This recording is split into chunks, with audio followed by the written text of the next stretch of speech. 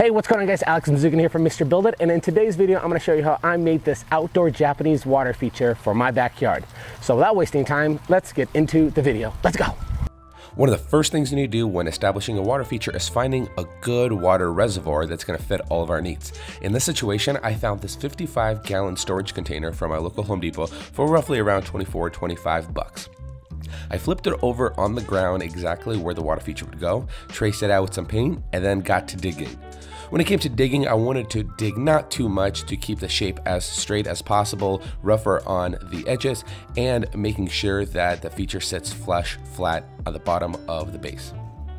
Once I got the hole dug deep enough, I also made extra room for the concrete forms themselves. This will allow for me to utilize the concrete in the most effective way possible without compromising the integrity structure of the water reservoir. Now, before we start pouring the concrete, we need to build the actual frame of the water feature. I'm using a couple of 2x4s. The size would be 5 feet by 4 feet by 5 feet. Now, the reason the sides are 5 feet is because the first foot is going to go into the ground, into the footings. Once I got it all secured with a couple of screws, I then got some Quikrete, the fast form setting that they use typically on post, filled up the forms, and then set the actual frame in place. Be sure to use a level to make sure that it doesn't lean one way or the other. Once you got it exactly where you want it to be, use a couple of extra scraps to secure it in place while it dries. Once the concrete is dry and our frame is secured, at this point we're going to start building out the actual cedar faux beams. To accomplish this, we picked up 11 pieces of the 5 8 by 5.5 inch cedar fencing from a local hardware store. We started securing it from the outsides first and then building the faux beams out with the inside center cavity hollow and exposed. This part will be the housing part for all the hoses and the sprayers of the water feature. And the second piece of advice I'll give you guys is making sure that you have two access panels on the sides of the faux beams. And the way I secured those is no wood glue, just screws. I basically put three sets of two screws running top, middle, and bottom. That way, at any point in time, if I have any water feature problems, I can just simply pop those open and fix whatever the problem is. Now for the fun part. We're going to weatherproof this project using an ancient Japanese wood preserving technique called the shou sugi ban technique. And the basic idea behind it is burning or charring the wood, which in this situation we're using the Bernzomatic, which is the sponsor of this project, the propane gas, along with the Bernzomatic TS8000 torch. This will give me an even control of the flame.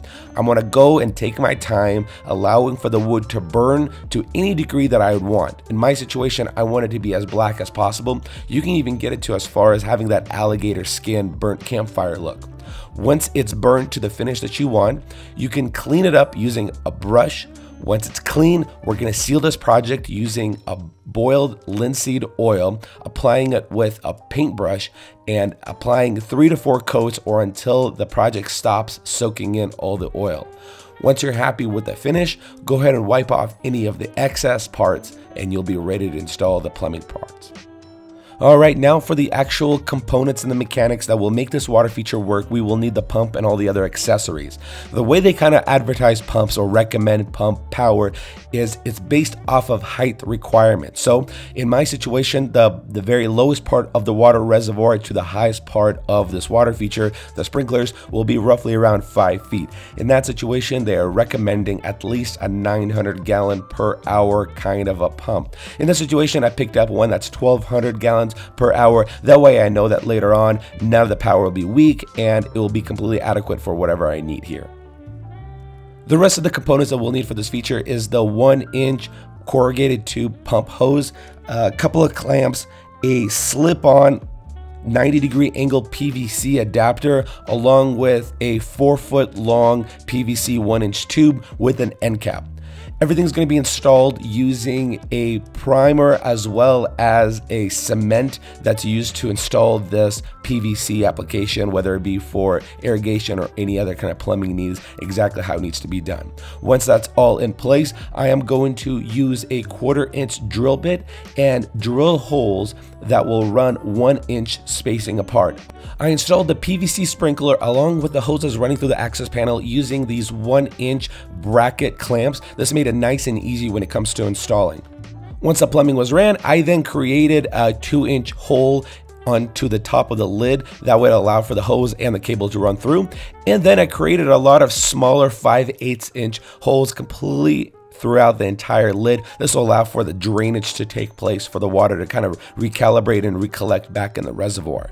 Once that was all set in place, I did a test run. And one thing I noticed is the stream that was coming from the shower curtain was almost angled and kind of going out of control. So I know I needed a little bit of control. So I decided to pick up these water jets. The jets that I used are the two gallon flow that are used in the irrigation low or slow flow systems. This made it perfect. Once I installed them, the quarter inch nozzles were perfect when it came to installing. And then once they clicked in place with a little bit of muscling, I then put a bead of 100% silicone, waterproofed completely around it. This allowed for it to stay in place and at the same time create a nice tight seal.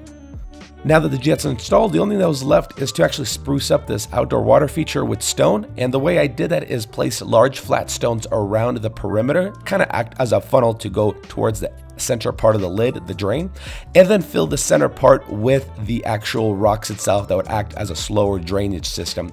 The nice thing about using this Home Depot container is that it has this one inch lip that kind of kind of keeps everything contained as uh, almost like a little drainage pan. I am extremely happy how this project turned out. And for you guys, I will put a link down in the description below with a blog post of all the components that I use on this project for you guys to be able to build your own water feature yourself. Well, that is it for me this week. Thank you so much for watching this video. Big thank you to Bernzomatic for sponsoring this project. If you're brand new to the channel, make sure you hit the subscribe button right over there. Here's a couple other videos for you guys to check out, and you'll see all the social media stuff in the description below. Tune out this week. We'll see you guys next week. See ya. Bye.